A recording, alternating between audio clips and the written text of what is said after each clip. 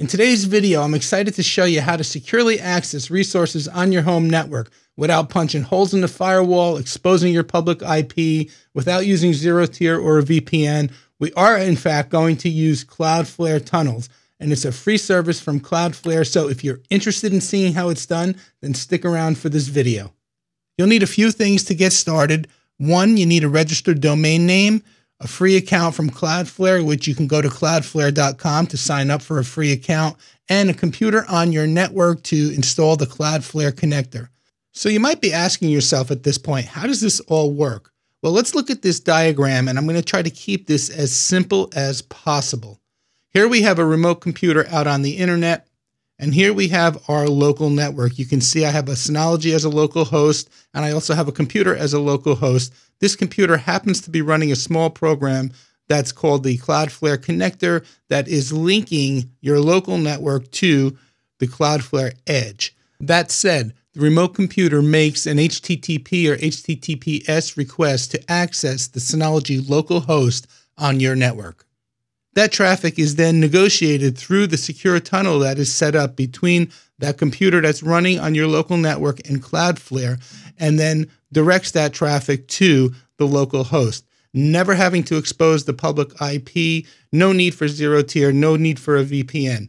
It's all done through secure outbound connections. I'm not going to say any more than that. If you want to learn more, you can go to cloudflare.com and read the documentation.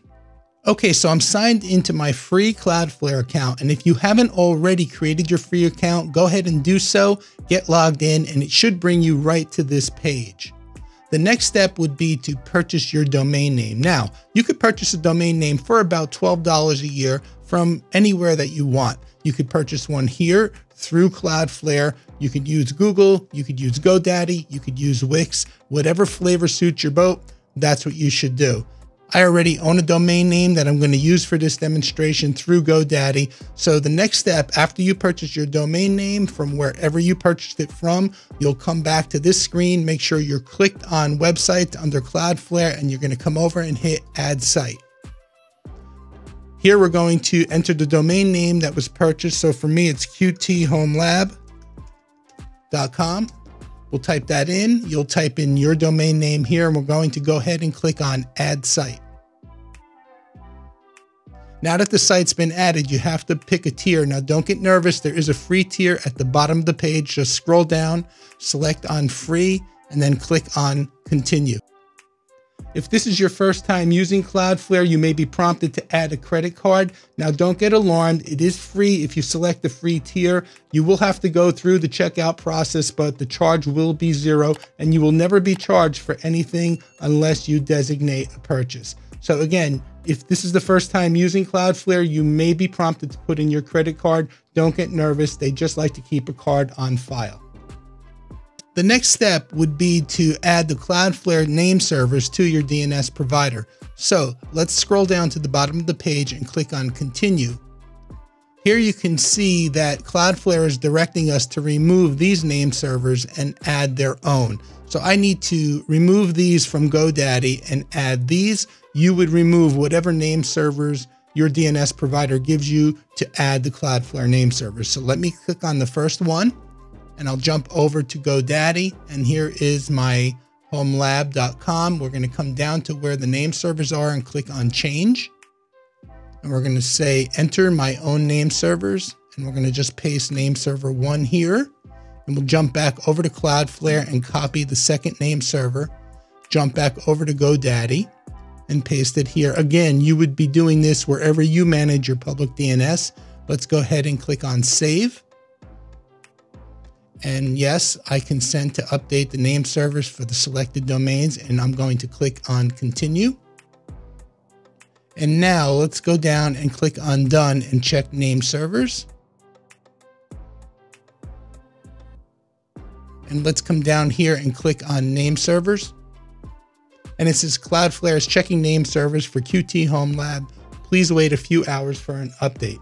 Well, it could take a few hours, sometimes 24 to 48 hours, but when I tested this earlier, it literally took about five minutes and everything was updated. So we're going to come back after about five minutes and see if we can continue. So stick around. Okay, so the name servers are updated. That took about three minutes, didn't take long at all. You can see here it says great news, Cloudflare is now protecting your site. While we're on this screen, let's just go over to the left menu as a sidebar. Let's click on SSL TLS and come down to Edge Certificates.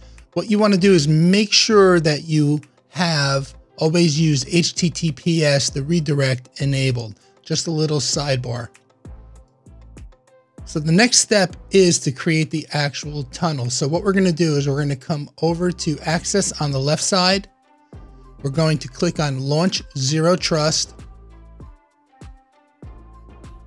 Then we'll come back over to the left pane. We're going to click the drop down for access and select tunnels.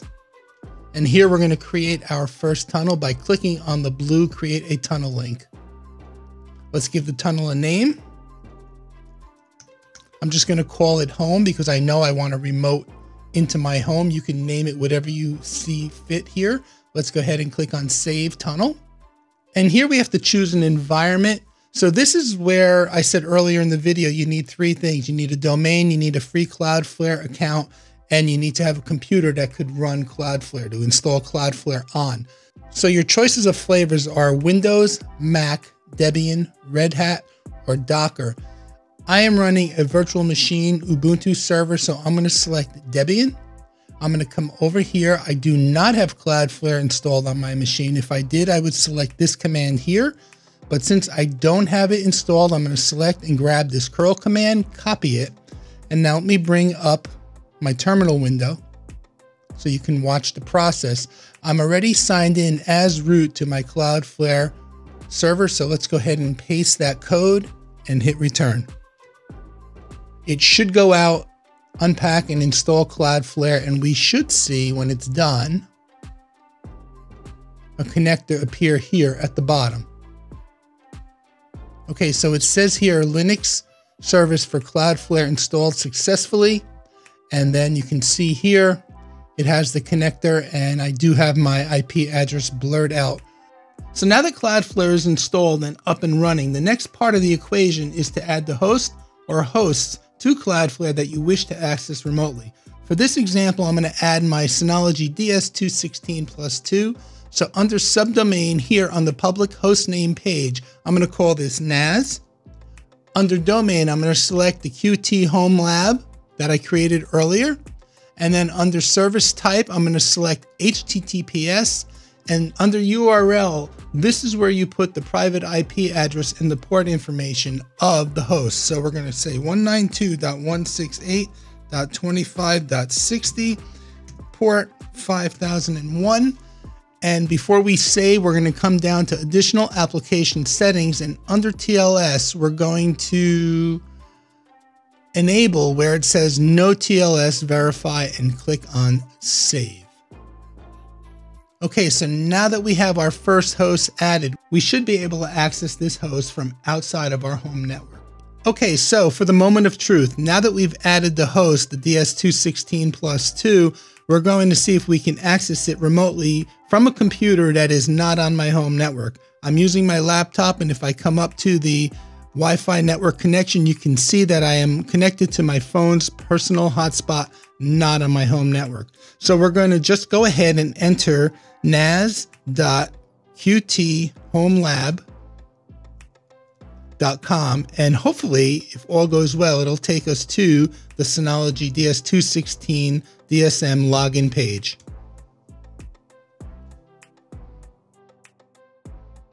Okay, so there you go. You see, I was able to get the Cloudflare tunnel up and running. I was able to access my Synology NAS remotely. Yes, there are quite a few steps involved, but if you follow this video verbatim, you should be able to get it up and running as I did. Now, a couple of things I'd like to point out. One, you can add multiple hosts or resources to a single uh, Cloudflare tunnel. That said, if I wanted to add a second NAS or a third NAS or a web server, I can go ahead and do that. Number two, this is a great solution for file sharing, although there is one major caveat that you have to keep in mind. There is a 100 meg upload file size limit. So anything over 100 meg, you're not going to be able to upload. That is remotely. If you're local, you could upload a file of any size. There is no download limit. So if you're sharing out, if you're working for somebody and you got to get files out to somebody, you can upload them locally, share that URL with them, and they'll be able to download the file. No limit on the download side. So I hope you liked this video. And if you did, please go ahead and give it a thumbs up. In the next video, I'm probably going to show you how to restrict access to that URL and also how to use the Synology login portal. So we're not just going uh, to the DSM login page, but maybe to a specific application like the files section. If you liked the video, like I said earlier, please give it a thumbs up. Be sure to check out other videos that I have listed here up above. Please remember to subscribe, like, and share this video. And I want to thank you, as I do in every video, for using my Amazon affiliate links. I know they don't change your price, but they do help out the channel. Once again, my name is Tony with Quik Tech Solutions. As always, please stay safe. Thank you for watching, and we'll see you next time.